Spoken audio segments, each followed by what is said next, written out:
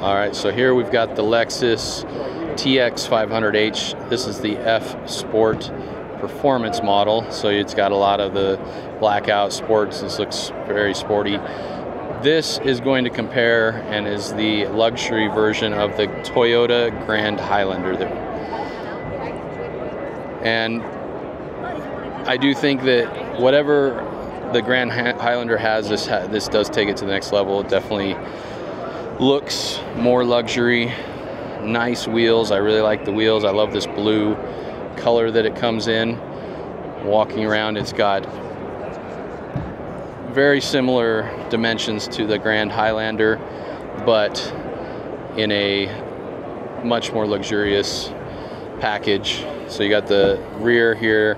You can fold down your third row of seats as a three row suv fold down the third row you get a flat load base with a lot of space in the rear. This one actually folds down power. And this vehicle does have the power on. It's pretty slow. It's not a quick fold. But you can see it's a 50-50 split. You can fold down the rear. You get on near flat rear load base. And then you can fold them back up with the power button as well. So just one touch, folds back up. Coming around, Let's take a look at the, let's get in the rear. So these doors are not physical door handles. So the handle outside is a press button. Here's your door release here. So you push that, it pops the door out. And this comes with the center captain seats. Very, very comfortable. Lots of space. There's not a center seat here. Got a lot of power options here on the center console, a couple of USB-Cs.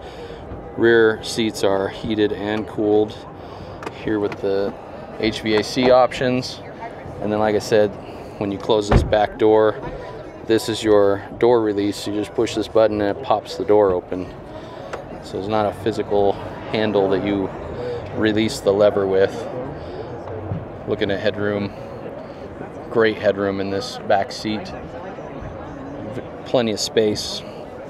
These captain's chairs have a lot of a lot of room for you to sit in.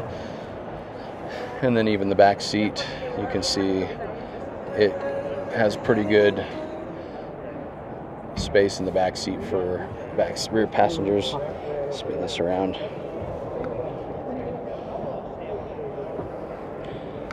I think actually of the three-row SUVs we looked at today, this one of the few that probably would accommodate adult fairly well in the rear.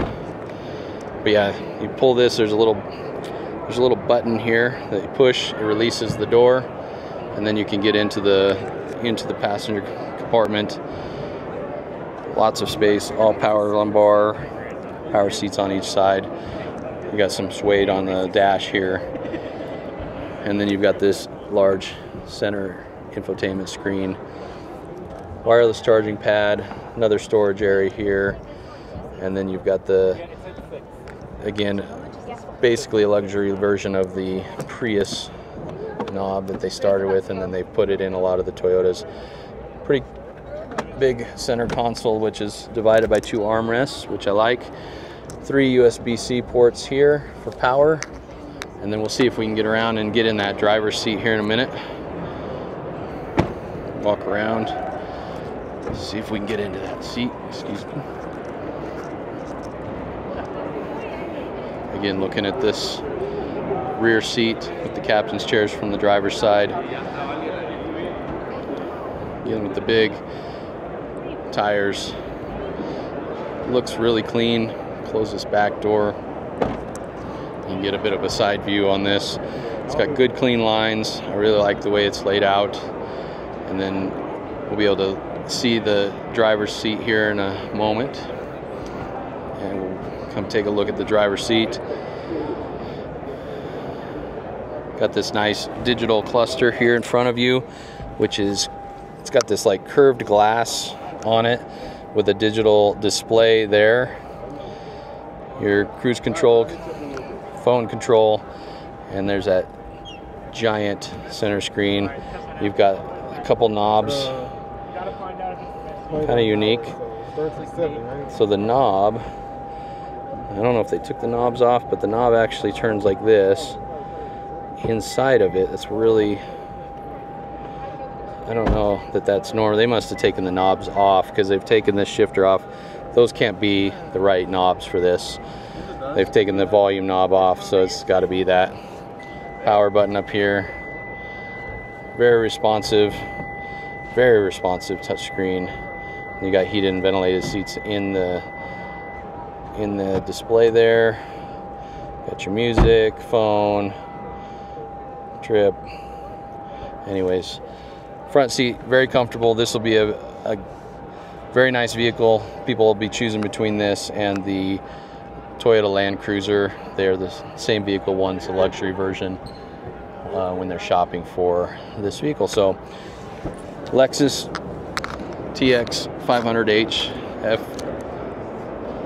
F Sport Performance. Go ahead. So twin turbo, four cylinder, with puts out 366 horsepower.